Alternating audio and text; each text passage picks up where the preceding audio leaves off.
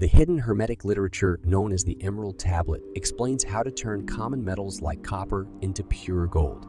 The poem is attributed to either the Egyptian god of wisdom, Thoth, or the famed Hellenistic god Hermes Trismegistus. Several sources assert that Hermes and Thoth are one and the same. The ability to create the Philosopher's Stone is seen to be the tablet's most astonishing claim to fame.